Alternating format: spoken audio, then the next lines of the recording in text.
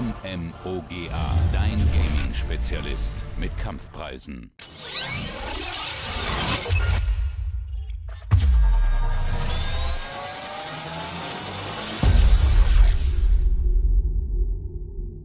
Hi Leute, ich habe mir gedacht, da ich immer sonst mit Gotti zusammen so ein Let's Plays da gemacht habe, Let's Plays da gemacht habe, einfach nur immer so just for fun, mache ich jetzt auch mal just for fun mein eigenes Projekt. Das kommt später trotzdem bei Gotti auf dem Kanal, weil ich keine Ahnung habe davon. Ich habe mir jetzt mal überlegt, wir spielen zusammen Farlight Explorers. Ich werde mal gucken, dass ich so ein bisschen was über das Spiel erkläre oder erzähle, weil so viel weiß ich davon auch noch nicht. Also fangen wir mal an. Natürlich eine neue Welt und da sieht man schon, es gibt vier verschiedene Spielmodi und die sind auch gestern oder heute erst implementiert worden.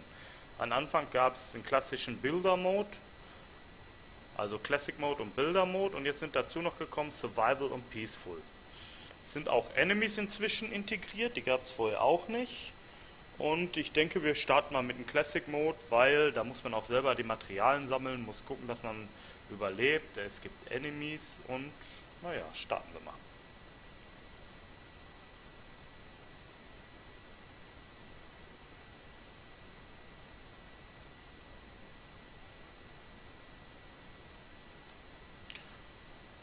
So, hier ist so ein bisschen das Tutorial, dann kann man sich äh, durchlesen, wofür was ist und so. Natürlich ist es bisher noch auf Englisch, aber ich denke mal, oder kurz oder lang wird es auch auf jeden Fall, wenn nicht von den Entwicklern, dann auf jeden Fall von der Community noch lokalisiert werden. Aber suchen wir uns mal einfach so eine Galaxie aus. Äh, ist hier so, ein, so eine Art Milchstraße, wo man jetzt in die diversen Galaxien rein kann. Und dort, wenn man da reinkommt, sieht man auch verschiedene. Ja, wie komme ich jetzt da rein?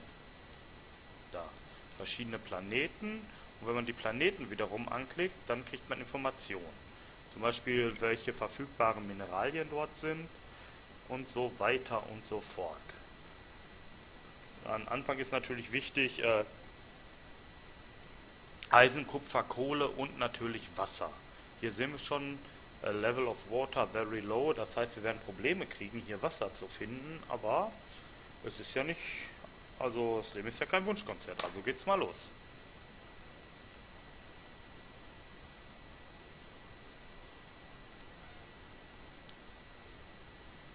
Ihr seht schon, wir sind in einem recht dunklen Ort gelandet. Und als erstes, was wir machen, also kurz gesagt, wir sind mit unserer Kapsel abgestürzt und haben eigentlich so gut wie nichts. Wir sehen hier, unser Inventar ist leer. Jetzt haben wir in unserer Kapsel halt ein paar Sachen. Klicken wir an, drücken F und dann haben wir einmal so einen Laserbohrer, ein bisschen Eisenbarren, ein paar Kupferbarren, ein bisschen Kupfererz, äh, Kohleerz, Stahl, ein bisschen Sauerstoff, ein bisschen Essen und ein bisschen Eisen. So. Und wie ihr schon seht, haben wir unten links eine Anzeige. Einmal unser Schild, unsere Gesundheit, äh, Sauerstoff und Food. Und das Problem ist, wenn Food oder Sauerstoff zu Neige gehen, haben wir immer noch rechts unten die Möglichkeit, von dem, was wir da haben, zu benutzen. Und wenn das auch zu Neige geht, ja, dann haben wir natürlich ein großes Problem. Dann könnte es sein, dass wir sterben. So, mit diesem Drilling-Tool können wir, wenn wir Erzadern finden, die erstmal abbauen. Da vorne haben wir schon mal eine Erzader. Iron. Und da fangen wir jetzt nochmal an, so ein bisschen Eisen zu farmen. Und wie ich schon gerade gesagt habe, wir sind abgestürzt auf diesem Planeten und haben auch nur ein paar Ressourcen. Und unsere Aufgabe wird sein, von diesem Planeten wieder zu verschwinden oder andere Planeten zu besiedeln, weil jeder Planet seine eigenen Rohstoffe hat, seine eigene Vegetation und so weiter und so weiter. Am Anfang gucken wir erstmal, dass wir äh, auf jeden Fall Luft und Essen generieren können, da wir dann auf jeden Fall so einen kleinen Vorteil haben ohne Luft lebt sich schlecht. Und wir sehen schon mal, die erste Gefahr des Spiels sind immer wieder diese sogenannten Asteroiden oder Kometen, die immer auf die Erde stürzen oder was für ein Planet das ist. Denn der zerstört das, was wir gebaut haben. Und dann kommen wir eigentlich zum wesentlichen Teil dieses Spiels, das sogenannte Crafting. Über I kommt man ins Inventar und dann kann man hier schon gucken, was man alles bauen kann. Wir fangen mal an mit Structure und Foundation, weil wir bauen eigentlich alles, was wir so bauen, auf sogenannten Platten. Wird auch direkt generiert, also hat keine Bauzeit. Und dann positionieren wir das mal direkt hier am Wasser. Ups, ein bisschen hoch. Tiefer eigentlich. Wir sind ein bisschen höher. Da hatten wir es doch. Genau. Zack. Und mit C haben wir so eine Art Booster-Modus. Da können wir so ein bisschen rumfliegen.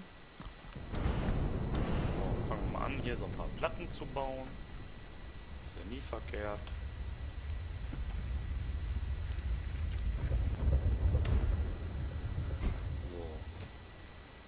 Was als erstes natürlich wichtig ist, ist Strom. Dafür brauchen wir natürlich noch mal ein bisschen Eisenerz. Und das wird eigentlich am Anfang unsere Hauptbeschäftigung sein, dass wir gucken, dass wir Rohstoffe sammeln.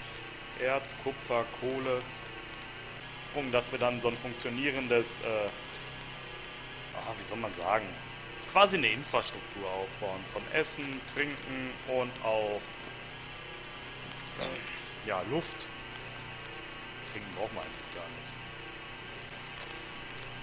Oder auch Strom.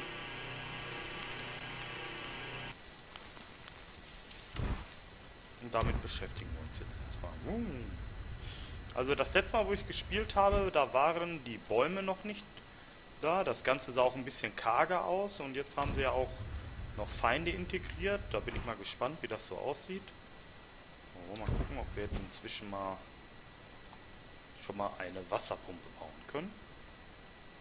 Das ist unter Supply, also Versorgung. Da haben wir Elektrizität, Food, Sauerstoff, Wasser, Öl, Treibstoff, petrochemisch, Säure. Wenn wir da draufklicken, dann kommt immer ein Untermenü, zum Beispiel Water, da haben wir die Wasserpumpe, Wasserrohre äh, auch noch in verschiedenen Auswirkungen, auch Tanks oder Deepwater Pump, Guck mal, mit einer Wasserpumpe, das braucht 5 Eisenerz und die haben wir natürlich. Zack, haben wir schon mal eine Wasserpumpe. Die positionieren wir auch dann. Gut. Wichtig dabei ist zu beachten, oh, warum müssen die jetzt so tief?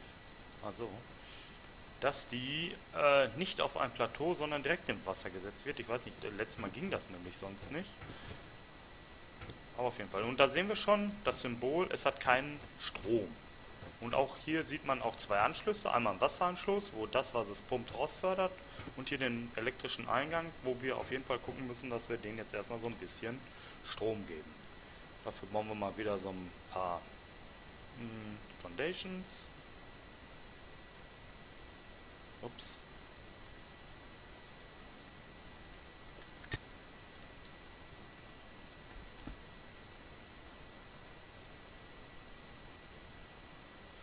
Das Game, das ist noch in der Beta-Phase, das kann man sich derzeit bei Steam kaufen und äh, scheint wohl auch eine enge Anbindung zu der Community zu haben. Also Vorschläge werden da wirklich gesammelt und äh, geguckt, ob man die überhaupt realisieren kann. Einige Sachen sind auch schon realisiert worden, was die Community so vorgeschlagen hat. Und was momentan, so wie ich es jetzt gesehen habe, oder als ich im Forum unterwegs war, scheint wohl so zu sein, dass sie momentan dabei sind, die ganze Engine umzuschreiben. Jetzt sind sie, glaube ich, auf eine Unreal 4 Engine gegangen und deswegen sind einige Sachen, die schon im Spiel waren, wieder rausgenommen worden. Also letztes Mal konnte ich zum Beispiel keine Forschung nehmen und so, aber wollen wir mal sehen, wie weit das sich jetzt entwickelt hat.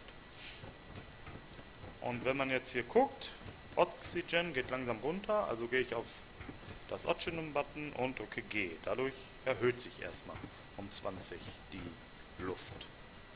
So, wir waren dabei, ja ein bisschen Strom zu machen. Gucken wir mal, was wir dafür brauchen. Supply, Electricity. Ein Solargenerator braucht 10 Kupfer und 10 Eisenerz. Die fahren wir doch einmal. Mit C aktiviert man, wie ich schon gesagt habe, den Booster. Den kann man auch wieder an- und ausmachen. Ganz witzig. Ist das überhaupt Eisen? Jo.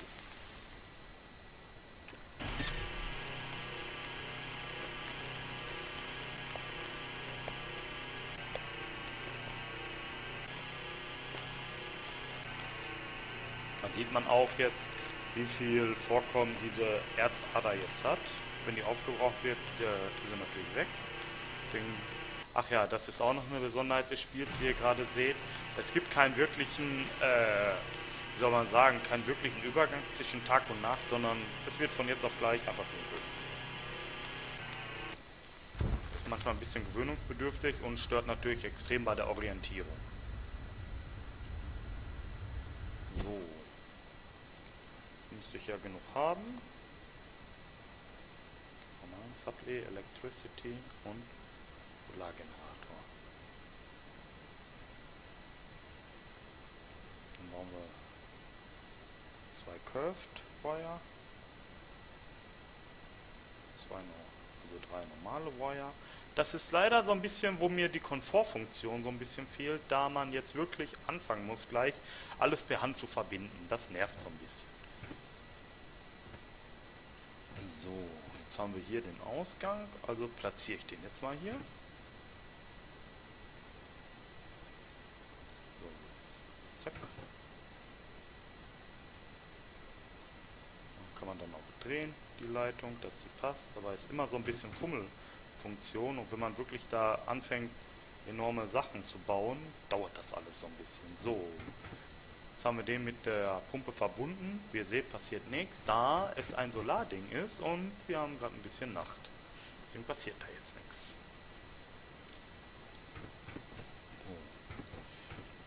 Jetzt müssen wir natürlich sehen, dass wir jetzt anfangen, äh, so ein bisschen Luft zu generieren. Können wir auch schon mal bauen. Erstmal, dass die Grundversorgung steht, danach können wir uns ja immer noch um andere Sachen kümmern. Äh, mit R dreht man die Sachen. So. Und natürlich sehen, dass man das Ganze auch jetzt wieder miteinander verbindet. Water, ein bisschen Waterpipe, ein paar Curved Waterpipes. Und die sehen sich der, also die sehen den elektrischen Sachen natürlich ein bisschen ähnlich und die kann man auch miteinander verbinden. Und deswegen kommen da auch manchmal so Probleme, wenn man irgendwann zwischendurch einfach mal eine Wasserleitung in elektrischen Sachen und wundert sich, dass da nichts läuft. Ach ja, ist halt so. So, zack. Verbinden und schon haben wir wieder Tag. Jetzt muss man natürlich sehen, dass wir hier auch noch Strom hinkriegen. Deswegen wieder rein, Supply, Electricity. Und jetzt gibt es so eine tolle Sache hier, Electric T-Junction. Dadurch haben wir jetzt nochmal einen Abgang mehr. Können das Ganze jetzt auch noch damit verbinden. So. Man, wenn man einen anklickt, auf Entfernen, hat man es wieder im Inventar. So, zack. Hm. Das ist echt manchmal so ein bisschen Fummelerei. Seht, das elektrische Symbol ist verschwunden. Die Kollektoren, die richten sich, das ist auch ganz witzig, immer nach Sonne aus. Und was ist? Wir kriegen noch keine Luft, da uns ein Dispender fehlt. Gehen wir hin, Supply, Oxygen und Dispender. Zack.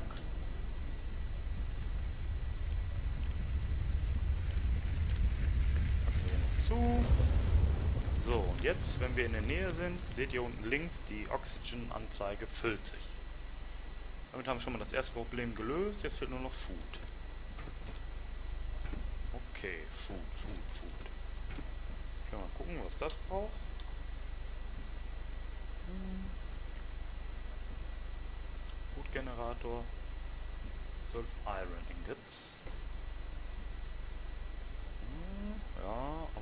Ingots haben wir noch gar nicht so viele. Können wir noch gar nicht herstellen. Dann gucken wir mal. Lass mal wieder so ein bisschen Erz sammeln.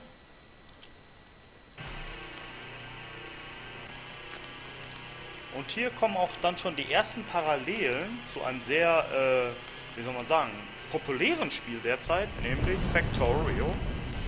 Denn irgendwann äh, will man ja nicht mehr selber hier durch die Gegend reisen und mühsam das ganze Erz abfahren, sondern man hat die Möglichkeit, das Ganze zu automatisieren. Das werde ich euch auch noch nach und nach zeigen. Allerdings dauert es natürlich auch, bis man das Ganze jetzt soweit hat, dass Erz alles automatisch läuft und so.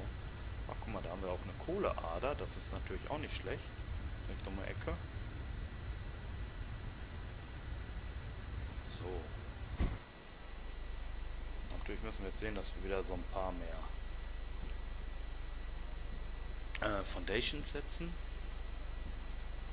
Ups, falsch. Oh, nicht jetzt Structure, Foundation.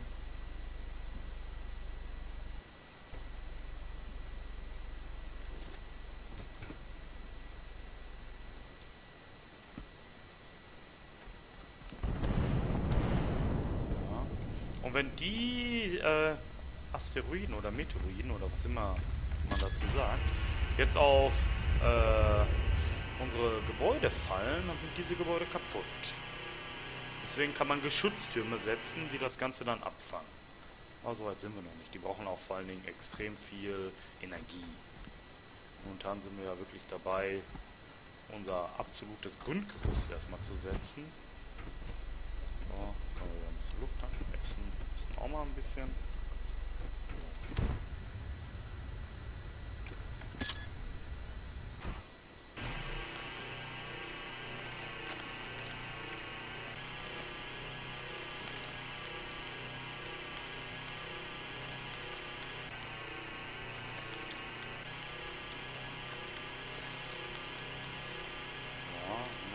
Irgendwann mal, wenn man so ein bisschen weiter ist, die ersten Sachen sich automatisiert haben, kann man auch rumgucken. Vielleicht findet man irgendwo einzelne Adern, wo dann doch andere Sachen sind.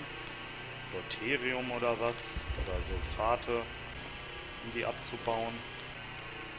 Oder vielleicht auch Rohöl, um Plastik herzustellen und so weiter und so weiter. Zack.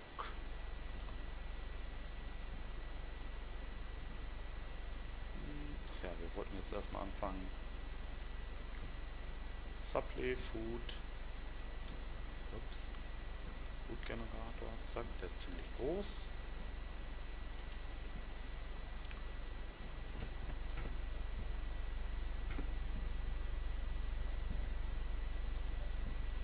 Ups. So ist jetzt nicht geplant.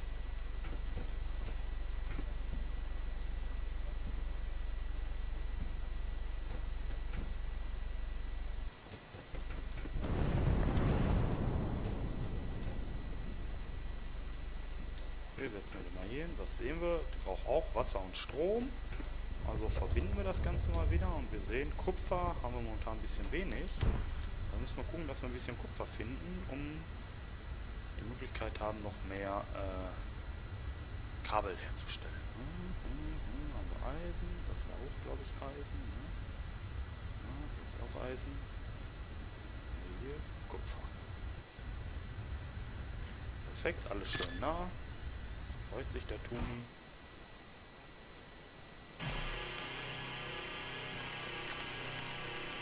Also bauen wir ein bisschen Kupfer ab. Kann ja nie schaden, ne?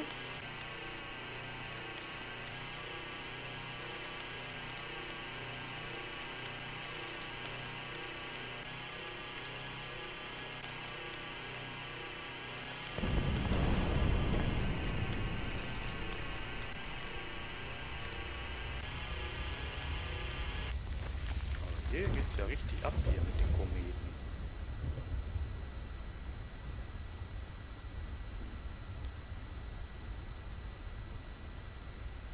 Sehen wir auch direkt das Symbol. Er braucht definitiv Wasser. Wollen wir uns auch drum kümmern. Aber eins nach dem anderen. Äh, Hier mal links hin. T-Junction. Electricity. T-Junction. Wire. Curves.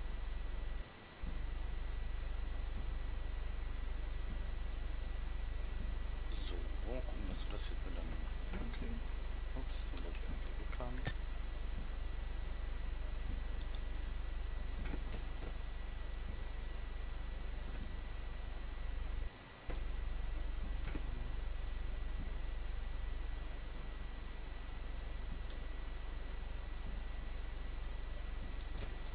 So, jetzt kommt Water Pipes. Die mal weg, kommen durcheinander. Zack. Subway, Water. Drei Stück davon. T-Junction.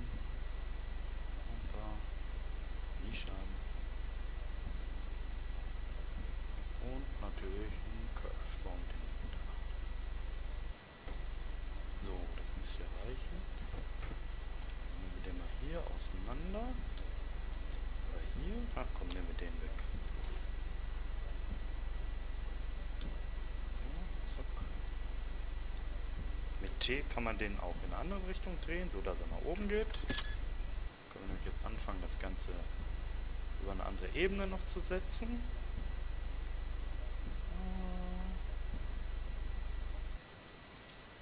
Ja, schon ein Problem hier. Ich habe mich festgehabt. Kommt leider auch ab und zu vor. Liegt wahrscheinlich. Gut. So.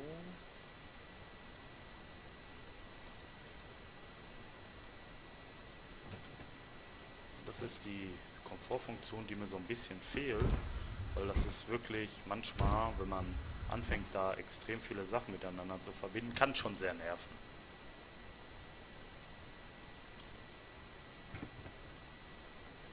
Ich glaube, man hatte auch mal die Möglichkeit, die ganzen verschiedenen Sachen einzufärben. Das geht wohl nicht mehr. So. Mal gucken, ob ich den hier auch noch nach oben bringe.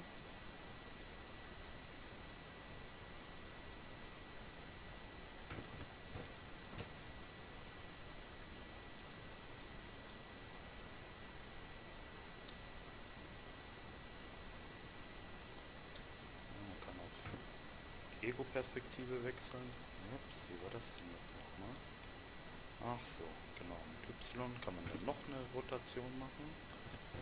Und ja, wir sind zu hoch gekommen jetzt schon. Das- Der kann weg.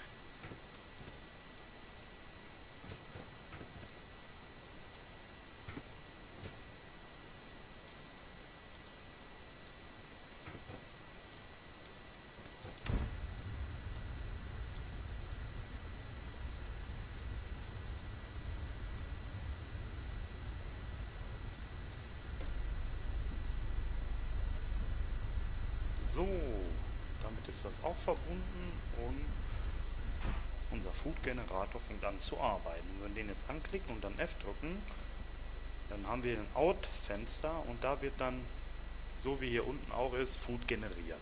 Und das können wir uns dann bei Bedarf einfach abholen. Oh, weil wir jetzt ein Problem haben, dass wir nur eigentlich nachts, äh, also nachts hier gar nichts davon haben, können wir jetzt mal gucken, dass wir jetzt vielleicht ein paar Batterien setzen. Und das Supply. So, Basic Batterie. Zwei Stück. Hier wird dann überschüssige Energie dort eingelagert und kann dann bei Bedarf nachts dann wieder abgerufen werden. Zack, zack. Jetzt wieder Kabel. Dann packen wir die Wasserleitung weg. So. So.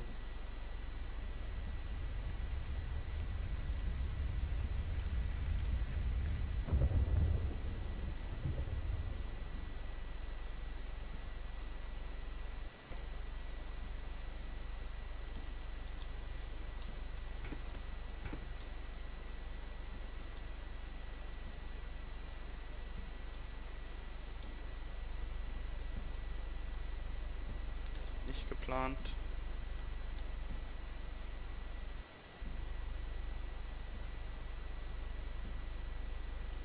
So, damit sind die Batterien verbunden. Wir sehen, dass die nicht laden.